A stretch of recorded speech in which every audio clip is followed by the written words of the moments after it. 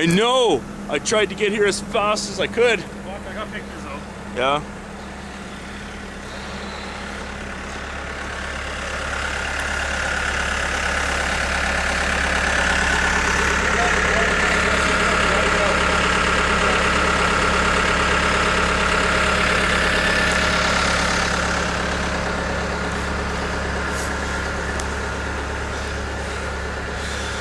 Got a wee bit stuck over the tracks on the little